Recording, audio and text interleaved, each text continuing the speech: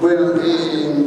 en primer lugar me voy a referir a la cuestión de la biblioteca brevemente. El, primer movimiento, el movimiento espontáneo de la, Asamblea, recuerdo un discurso de, de en aquel momento, eh, fue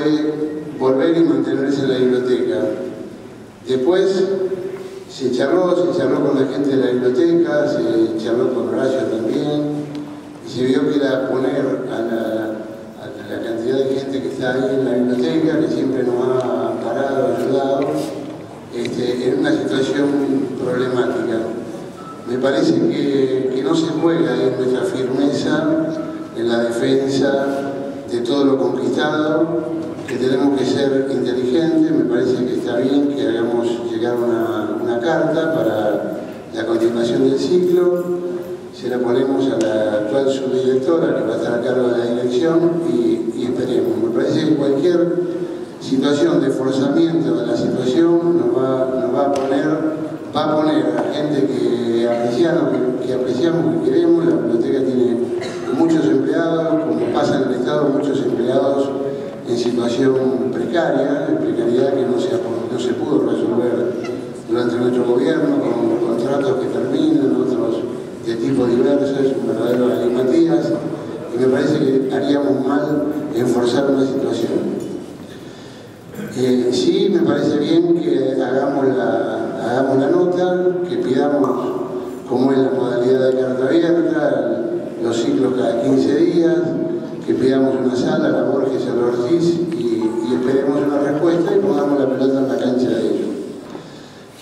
Con respecto a la carta, yo digo, no a la carta, a la declaración, quiero que, considerarla eh, tengamos en cuenta el tipo de texto que estamos haciendo. Nosotros habitualmente nos hemos empezado con cartas y muy pocas veces con declaraciones, quiero recordar dos. Algunas sobre la situación en Medio Oriente en una oportunidad y alguna otra que no, recuerdo bien. La declaración tiene, por su extensión, por el tipo de, lenguaje, imposibilidad de profundizar en los temas. Hay quienes nos reclaman, nos reclaman en charlas que la carta, que la declaración se queda en la superficie, es decir, la, la declaración se para frente a una situación, puntualiza los puntos, me parece que con, claridad, que por supuesto puede ser corregido, este, no, y no mucho más. Y después está la lucha, la presencia en las plazas y la próxima carta que haremos ya, digamos, eh, a la vuelta en, febrero, con una mirada bastante más, este, más larga,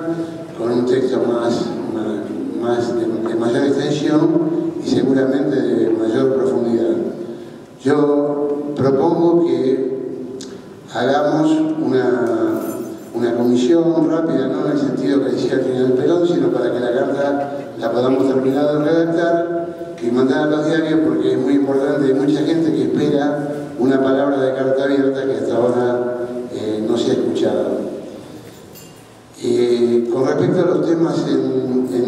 discusión, eh, yo apoyo, me parece que alguna cosa que señaló Héctor se puede, se puede corregir, sobre todo en la primera parte,